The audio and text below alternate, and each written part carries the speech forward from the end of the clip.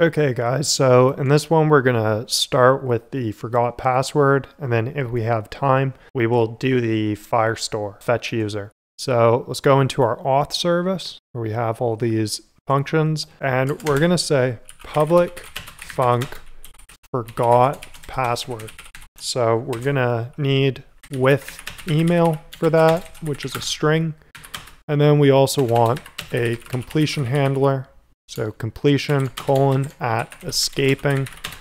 And we're going to return an error, which is optional. And then we're going to return void. Okay, so this is pretty easy. All we need to say is auth.auth dot send password reset. And Firebase is going to handle that. So we're going to say send password reset with email. We're just going to pass an email and it's going to pass us an error. So literally all we need to do is say completion and we're gonna pass in that error. So isn't that cool? Since we're returning an optional error and Firebase gives us an optional error, all we have to do is say completion and then boom, easy like that. And looking back at it, like in the sign in method, we could also do that here. So we don't even need this else block. We can just pass this error but we'll leave it so we don't break anything because we know it's working the other way. So we need to go into our forgot password controller and I'm just to log out in my app here so I can take a look at it. So in our forgot password controller, we need to go down to our did tap forgot password and we have this guard let email so we're going to delete this guard statement we made before. We're going to say let email equals self dot email field dot text question mark question mark double quote double quote. Then we're going to say if not validator dot is email is valid email for email we are going to alert manager dot show invalid email alert on self and then return. So we're going to say auth service dot shared dot forgot password with email. So we're going to pass that email in there. We're going to say completion error. So we're going to say weak self error in, and then we're going to do the guard let self equal self else return. So then we're going to say if let error equals error alert manager dot show error sending password reset on self with our error. And then under that, we're going to say return. So what that is going to do, if Firebase gives us an error, then it's going to send that. We're going to show that error. So down below that, if there's no error, it should have sent. So we're going to say alert manager dot show password reset sent on self. Now, I don't really like that email I used earlier. That's not actually my email, and I don't really want to be sending emails to random emails. I also don't really want to show my email. Um, so I'm going to give this a try off camera and let you know if it works, but it should. Okay, so I tested it out and I just changed my email with inspect element here. So this is what the screen will look like. It'll email you a link and then you can type in a new password and it will work. So that's what it looks like. So if we continue on, I am going to log in to one of the accounts. And we're going to now fetch in our Firestore, if you remember, in the auth service. Right here, we set the user. So we set a user, and I will show you looks like that. So we have the user ID right here as the default name. And then we have the email and the username saved in there. So we're going to grab these values and display them right here next. So we're going to go into our auth service and at the very bottom, we're going to say public func fetch user completion colon at escaping. And we're going to return two values. We're going to return an optional user, which we need to create, then an optional error, and then returning to void And there we go. Now we are going to go into our models. We're going to create another model. We're going to call it user. It's going to be a struct user. We're going to have let username string. We're going to have let email string. We're going to have let user UID string. Okay, so once we have our struct with a username, email, and user ID, we're going to go back into our home controller. And in the view did load, we're going to say auth service dot shared dot fetch user with a completion user and error. And we're also going to make a weak self.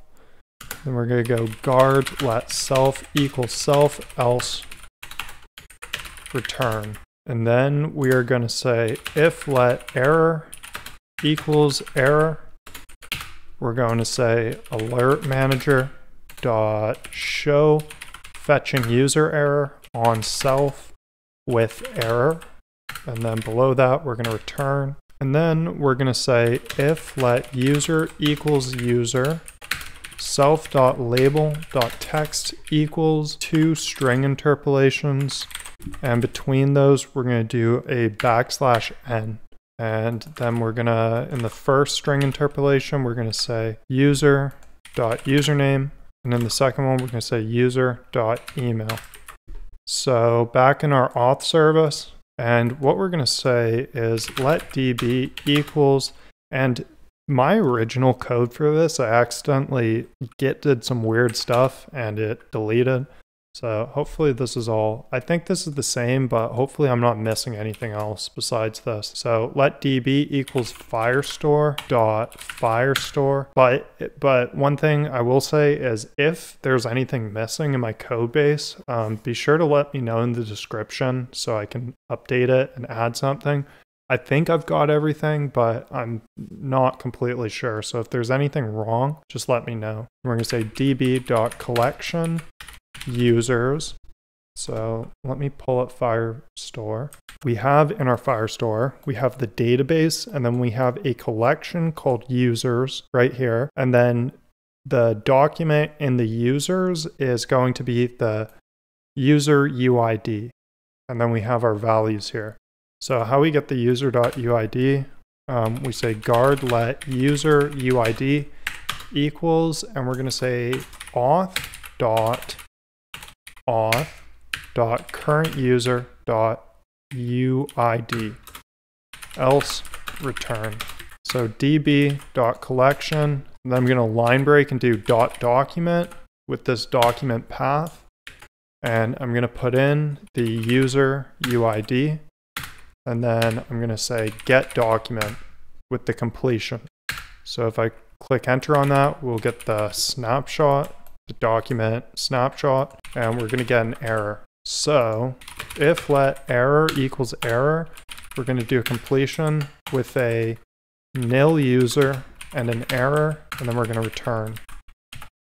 If not, below that, we're going to do if let snapshot equals snapshot. Okay, that's the first thing. And then I'm going to line break these blocks so we're going to do a comma behind snapshot and we're going to say let snapshot data equals snapshot dot data comma and we're going to say let username equals snapshot data and this is a dictionary so it's a key value pair. So what we want to get is the username field this right here. We're going to save it as string. And then we're basically going to do the same thing. So I'm going to cut, cut and paste that for the email.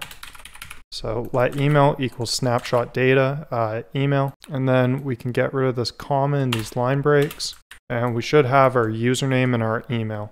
So we're going to say let user equals user. And in our constructor, we're going to pass in the username, we're going to pass in the email, and we're going to pass in the user UID. Then all we have to do is do a completion with that user and nil for the error. Okay, So now when we run this, it will go to the home controller and it'll say loading. And then once it fetches this data, it'll show it. So I think that's it. As I said, I lost my code, so I'm not 100% sure, but all the features seem to be working. Got sign up, we've got forgot password, we've got register. So there may be some things missing, but I think that's it. But I think this is a good project. I had fun with this. Um, the Node.js one is quite a bit more complicated, especially if you're actually uh, creating the node stuff. I have the code there. Luckily, I didn't lose this because that would be very annoying.